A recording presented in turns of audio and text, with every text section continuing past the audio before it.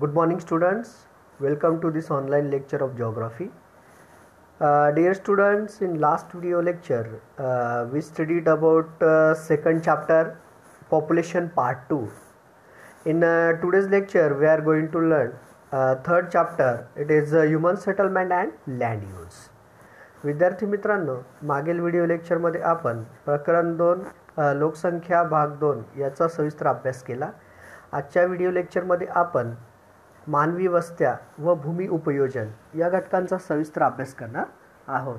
So let start today's session human settlement and land use dear student look on the screen one picture is given according to the picture you just answer the following question. The questions is given here. Uh, where are human settlements like to be de- like to be developed? A b c d. Look at the part a then b then c then uh, d and e. It is a mountainous area plateaus area plain area river basin area. So this is the different types of the land surface area so according to that uh, where are human settlements like to be developed? A b c d or e? If your answer is a why? If your answer is b why? You have to mention the specific reason. Second question uh, in the above figure in which place human settlements is not likely uh, to develop and why? Answer the question in your notebook write in your notebook. Third question looking at figure above which factors do you think could contribute to the development of uh, human settlement?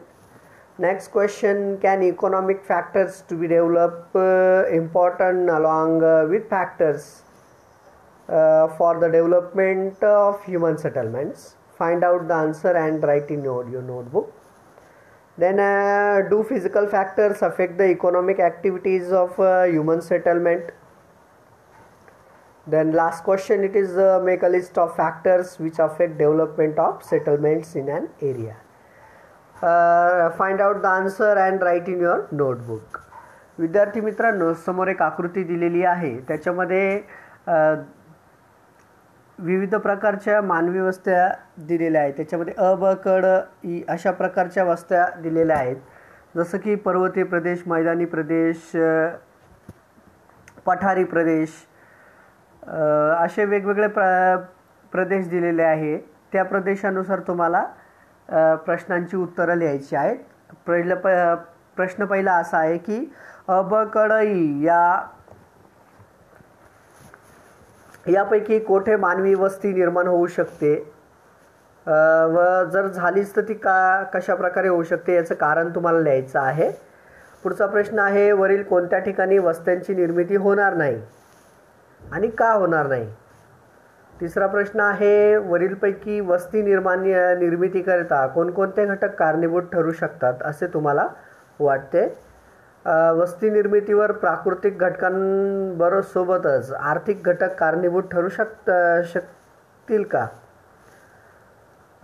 पाचवा प्रश्न आहे प्राकृतिक घटकांचा वस्तीतील आर्थिक क्रियांवर परिणाम होऊ शकतो का? पुढचा आहे एखाद्या क्षेत्रात वस्ती निर्मा निर्मितीसाठी कारणीभूत असणाऱ्या जे काही वेगवेगळे घटक असतात त्यांची यादी करायची आहे. या सर्व प्रश्नांची उत्तरं तुम्ही भूगोलाच्या नोटबुकमध्ये लिहायची आहेत. परीक्षेसाठी महत्त्वपूर्ण प्रश्न येऊ शकतो. Now let see the more information about human settlement you know human settlement human human is mostly a social animal he live in the society so as a human human being social animals he lives in the groups uh, further uh, social bonding and social needs are developed due to the social needs many people come together at a particular place and uh, construct houses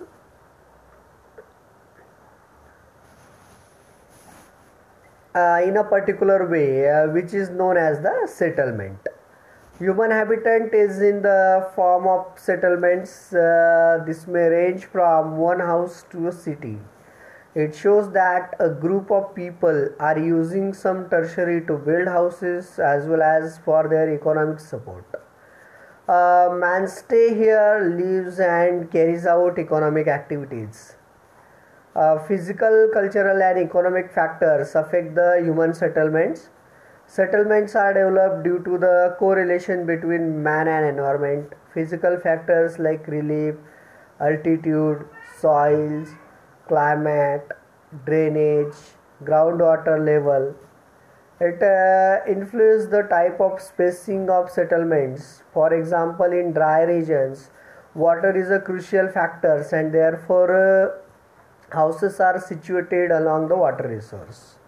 Something uh, sometimes social factors can also lead to fragments of uh, settlements because in the past areas were conquered or attacked frequently by outsiders for a long time therefore uh, security concern favored the uh, evolutions of nucleated settlements. So human life mostly live in the society. So uh, he just fulfill his need with the help of the social groups. That's why he need to live in the society and that's why settlements occupied विद्यार्थी मित्रांनो तुम्हाला माहितीच आहे की मानव हा समाजशील प्राणी आहे. मनुष्य हा समाजात जगतो वाढतो विचार करतो. समाजातील इतर घटकांवरच त्याची uh, त्याचं जीवन हे अवलंबून असतं. Uh, यातूनच पुढे सामाजिक बांधिलकी व सामाजिक गरजा निर्माण होत असतात. Uh, या सामाजिक गरजेतून अनेक लोक एका ठिकाणी एकत्रित येऊन विशिष्ट पद्धतीने घरे बांधतात. अशा घरांच्या मांडणीलाच मानवी वस्ती असे म्हणतात. मानवी अधिवास हा वस्त्यांच्या स्वरूपात आढळतो. यात एक घर ते मोठ्या शहरापर्यंतचा समावेश होतो. वस्तीवरून निदर्शनास येते की निवासासाठी तसेच त्यांच्या आर्थिक क्रियांसाठी काही प्रदेश व्यापले जातात. या ठिकाणी मानव राहतो समूह जीवन जगतो यांच्या आर्थिक क्रिया देखील करतो. मानवी वस्तींच्या स्थानावर प्राकृतिक सांस्कृतिक आर्थिक व राजकीय घटकांचा देखील परिणाम होत असतो. मानव व पर्यावरण यांच्यासह संबंधातून वस्त्यांची निर्मिती ही होत असते. प्राकृतिक घटक जसे की उंच सकल्पना समुद्रसपाटीपासूनची उंची मृदा हवामान जलप्रणाली भूजल पातळी इत्यादी घटक देखील वस्तीचे अंतर आणि प्रकार यावर परिणाम करतात. उदाहरणार्थ कोरड्या हवामान प्रदेशात पाणी हा महत्त्वाचा घटक असतो. म्हणूनच घरे जिथे पाणी उपलब्ध आहे तेथेच घरे असतात. कारण पाण्याशिवाय माणूस जगूच शकत नाही. म्हणूनच मानवी वस्त्या या जिथे पाणी असतं तिथेच मोस्टली डेव्हलप होतात. काही वेळा सामाजिक घटक वस्ती विखंडित करण्यास देखील कारणीभूत ठरू शकतो. उदाहरणार्थ पूर्वी क्षेत्र किंवा प्रदेश काबीज केले जात असतील किंवा बाहेरील लोकांकडून वारंवार आक्रमण होत असतील त्यामुळे बऱ्याच काळापासून सुरक्षिततेच्या दृष्टीने केंद्रित वस्त्या विकासास सुरुवात झालेली आहे.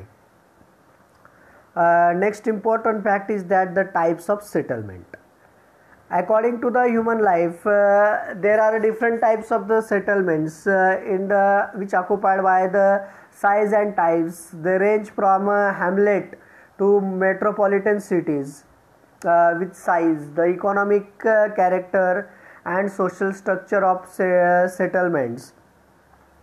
Uh, change and so do its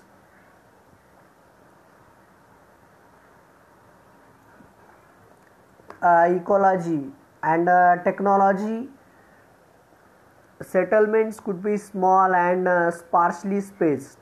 They may also be large and closely spaced. Uh, on this basis uh, of uh, spacing between the houses settlements can be uh, divided into following four types such as compact or a clustered or nucleated settlements. Second important types of settlement is that semi clustered और fragmented settlements third important types of the settlement is that dispersed settlements and fourth one is that the isolated settlements विद्यार्थी मित्रांनो आता आपण मानवी वस्त्यांचे विविध जे काही प्रकार आहेत त्याबद्दल सविस्तर माहिती बघूया. मानवी वस्त्या या प्रामुख्याने वस्त्यांचा आकार आणि प्रकार यात वेगवेगळेपणा आढळतो तसेच भिन्नता आढळतो.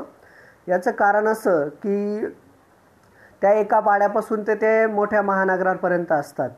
आकारानुसार वस्त्यांची आर्थिक वैशिष्ट्ये आणि सामाजिक संरचना बदलते. तसेच पर्यावरण आणि तंत्रज्ञान देखील बदलते. वस्त्या या छोट्या आकाराच्या आणि एकमेकांपासून दूर असू शकतात. तसेच त्या मोठ्या आणि जवळजवळ वसलेल्या देखील असू शकतात. घरांमधील अंतराच्या आधारावर वस्त्यांचे खालील चार प्रकारात विभाजन केलेले आहे. पहिला महत्त्वाचा प्रकार आहे तो म्हणजे दाट किंवा केंद्रित वस्ती. दुसरा महत्त्वाचा प्रकार आहे अर्धकेंद्रित किंवा अपखंडित वस्ती. तिसरा आहे विखुरलेली वस्ती. आणि चौथा आहे एकाकी वस्ती. Now according to this four important facts of the settlements some different types of the subtypes of the uh, settlements. Uh, look at the map. Uh, this is the satellite images of the settlements. just observe the observe the map observe the satel- uh, satellites and uh, answer the uh, questions just identify which types of the settlements is given there so let's uh, see the characteristics of the settlements. Uh, विद्यार्थी मित्रांनो समोर दिलेल्या uh, सॅटेलाईटची जी काही आकृती आहे त्या आकृतीनुसार तुम्हाला वस्त्यांचे वेगवेगळे प्रकार ओळखायचे आहेत. एका बाजूला तुम्हाला uh, वस्तीच्या उपग्रहीय प्रतिमा दिलेल्या आहेत तर दुसऱ्या बाजूला वस्त्यांची वैशिष्ट्ये दिलेले आहे. कुठल्या प्रकारच्या वस्त्यांची वैशिष्ट्ये? हे कोणत्या प्रकारच्या? वस्तीशी निगडीत आहे त्याच्यासमोर तुम्हाला ब्रॅकेटमध्ये तुम्हाला तिथं मेन्शन करायचं आहे. So let see the type of the care characteristics of the settlements first one linear pattern according to the linear pattern settlements occur along road railways canal or river in linear pattern second characteristics of the linear pattern is they are in the straight line or take the shape of the road or the river this is the linear patterns वस्त्यांचे वेगवेगळे वैशिष्ट्य दिलेले आहे. त्याच्यामध्ये पहिलं दिलेलं आहे रेषीय वस्ती. Uh, रेषीय वस्तींची जी वैशिष्ट्ये आहे ते पुढीलप्रमाणे आहेत. Uh, जसं की एखाद्या रस्त्यालगत किंवा रेल्वे लाईन किंवा नदी कालव्याच्या लागून वस्त्या या आढळत असतात. दुसरं महत्त्वाचं वैशिष्ट्य आहे एका रेषेत या रेषीय वस्त्या एका सरळ रेषेत असतात किंवा मुख्य रस्त्याच्या किंवा नदीच्या आकाराप्रमाणे या पसरत असतात. Second important is that the rectangular pattern in rectangular pattern settlement are in a straight line such lines are parallel to each other this days planned cities may take such a shape दुसरं महत्त्वाचा वस्त्यांचा प्रकार आहे तो म्हणजे आयताकृती वस्ती. आयताकृती वस्ती या प्रामुख्याने यांची जी घरे असतात ती ओळीत किंवा एका सरळ रेषेत असतात. अशा ओळींना एकमेका अशा ओळी एकमेकांना समांतर असतात. तिसरं आहे आधुनिक काळात नियोजित शहरे वसवताना अशा आकाराचा विचार केला जातो. Third one is that patternless uh, settlement in that patternless settlements with the development of the settlement the size of the population also increases uh, increasing population leads to uh, haphazard uh, development of settlement then uh, houses are built as per convenience and uh, space available पुढचा महत्त्वाचा प्रकार आहे तो म्हणजे आकारहीन वस्ती आकारहीन वस्ती या प्रामुख्याने वस्ती निर्माण झाल्यावर वस्तीच्या विकासाबरोबर वस्तीचा आकार वाढत जातो. वाढणारी वस्ती ही अनियमितपणे वाढत असते. तसेच सोयीनुसार किंवा जागेनुसार या वस्त्यांच्या या वस्त्यांमध्ये घरे बांधली जातात. Next important is that the radial pattern in radial pattern settlements grow around the central object or center this center point plays an important role in development of the settlements around it दुसरा महत्त्वाचा प्रकार आहे तो म्हणजे केंद्रोत्सारी वस्ती. केंद्रोत्सारी वस्ती या या वस्त्या एका केंद्राच्या भोवती किंवा uh, वस्त्यांचा विकास हा झालेला असतो. हा केंद्रबिंदू वस्त्यांच्या विकासातील महत्त्वपूर्ण भाग असतो. Next one circular pattern settlements take shape around a lake houses are closely space because of availability of water पुढचा महत्त्वाचा प्रकार आहे वर्तुळाकार वस्ती. Uh, यामध्ये एखाद्या सरोवराच्या किंवा तळ्याच्या आजूबाजूला वस्त्या या आकार घेतात. पाण्याच्या उपलब्धतेमुळे घरे जवळजवळ असतात. Next one triangular pattern it is found at the confluence of two river or roads the settlements can grow all three sides due to the physical or social reasons आणि शेवटचा महत्त्वाचा प्रकार आहे तो म्हणजे त्रिकोणी वस्ती. त्रिकोणी वस्ती या दोन नद्यांच्या किंवा रस्त्यांच्या संगमावर किंवा समुद्रकाठी अशा वस्त्या या प्रामुख्याने आढळतात. प्राकृतिक किंवा सामाजिक कारणांमुळे अशा वस्त्यांची वाढ ही तिन्ही बाजूने होत असते. म्हणून यांना त्रिकोणाकृती वस्ती असे म्हणतात. Uh, so just uh, identify which uh, characteristics which accumulated by the images and just tick mark that.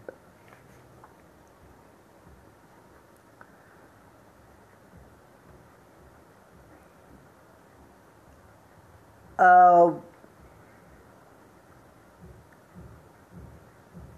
settlements also divided uh, according to their function.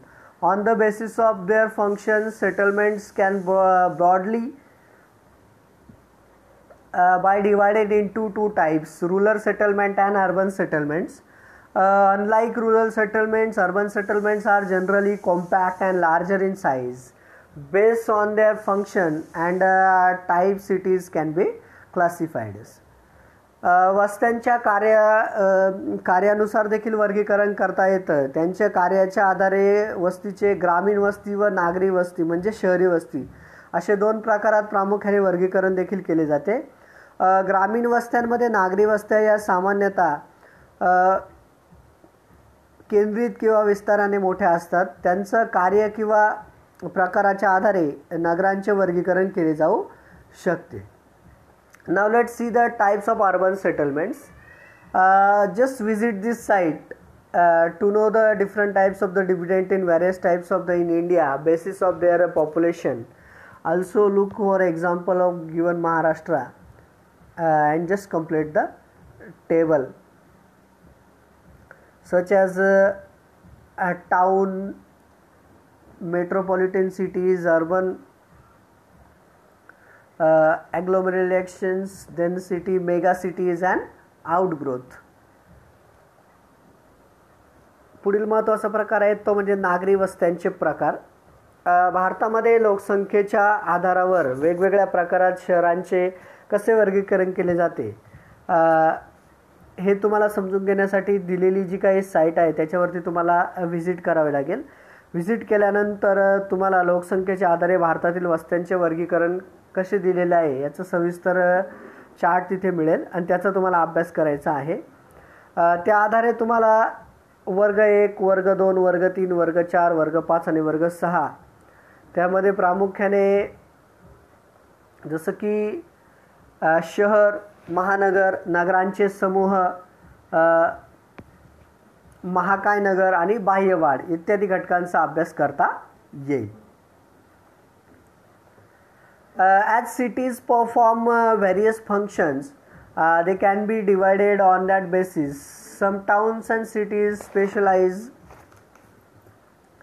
in certain functions and they are known for some specific activities uh, products of services however each town perform a number of functions on the basis of dominant or uh, specialized function. Indian cities and towns can uh, can be broadly classified as follows. Uh, with the help of the given chart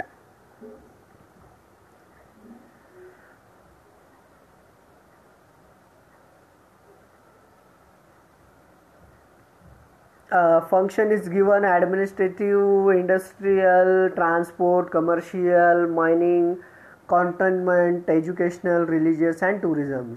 Name of the cities of Maharashtra. Uh, name of the cities outside from Maharashtra. Uh, some uh, such cities as uh, uh, Mumbai, administrative city is Mumbai, industrial is Thane, transport city is Nagpur then commercial it is Ahmednagar mining is Chandrapur containment city is Nashik educational city is Pune religious city is Shirdi and tourism is Aurangabad. If you know other name you have to just complete the chart विद्यार्थी मित्रांनो नगरांचे विविध कार्याच्या आधारे वर्गीकरण केले जाऊ शकते. काही शहरे आणि नगरे काही विशिष्ट कार्यासाठी विशिष्ट क्रियांसाठी उत्पादनांसाठी आणि सेवांसाठी ओळखली जाऊ शकतात. असे असले तरी प्रत्येक नगरात अनेक कार्य चालतात. नगराच्या प्रमुख कार्याच्या आधारे शहरांच्या नगरांचे खालील प्रकारे वर्गत वर्गीकरण केले जाऊ शकते. जसं की महाराष्ट्र इथे एक चार्ट दिलेला आहे तीन पॉईंट दोन. तो तुम्हाला पूर्ण करायचा आहे तक्ता. याच्यामध्ये काही कार्य दिलेले आहेत जसं की प्रशासकीय औद्योगिक वाहतूक व्यावसायिक खाणकाम छावणी शैक्षणिक धार्मिक पर्यटन. आणि महाराष्ट्रातील शहरांची नावं दिलेली आहेत. आणि महाराष्ट्राबाहेर शहरांची नावं दिलेली आहेत. जसं की प्रशासकीय याच्यामध्ये मुंबई आहे. औद्योगिक याच्यामध्ये ठाणे आहे. वाहतुकीच्या याच्यामध्ये नागपूर आहे. व्यावसायिकच्या दृष्टीने अहमदनगर आहे. खाणकामच्या दृष्टीने चंद्रपूर आहे. छावणीच्या दृष्टीने नाशिक शहर आहे. शैक्षणिकच्या दृष्टीने पुणे शहर आहे. आणि धार्मिकच्या दृष्टीने शिर्डी शहर आहे. आणि पर्यटनाच्या दृष्टीने औरंगाबाद हे शहर आहे. असे अनेक शहरं असतील ते तुम्हाला ओळखून लिहायचे आहेत. आणि भारता महाराष्ट्राच्या बाहेरील जी काही शहरे आहेत ते तुम्हाला ओळखून लिहायचे आहे आणि हा तक्ता पूर्ण करायचा आहे. Looking at the cities above we realize that cities do not carry out only one function they generally carry carry out more than one function as they grow out of these functions maybe major one as town becomes the cities and uh, cities became uh, metro cities. With time complexity in the city increases. Generally cities uh, become bigger uh, and uh, lots of changes can be seen in them. These changes are in the form of uh, change in land use and structural of city uh, these changes also result in the uh, change in uh, skyline of the city. Uh, नगरामध्ये एकच कार्य चालत नसून तिथे विविध प्रकारचे अनेक कार्य चालतात. Uh, एखाद्या uh, एखादे कार्य हे प्रमुख असू शकते तसेच नगरांचे मोठ्या नगरात रूपांतर हे देखील होत असते. मोठ्या नगराचे महानगरात रूपांतर होत असते. कालानुरूप होणाऱ्या या बदलानुसार नगरातील कार्यांमधील गुंतागुंत ही वाढते या नगरांचा महानगरांचा आकारही विस्तृत असतो. या नगरांच्या कार्यात बदलही मोठ्या प्रमाणावर घडतात. हे बदल प्रामुख्याने भूमी उपयोजन रचनात्मक बदल या संदर्भात घडतात. या बदलामुळे नगरांची क्षितिज रेषाही बदलते so in this lecture we studied about settlement and types of settlement in next lecture we will see the remaining part of the lesson land use thank you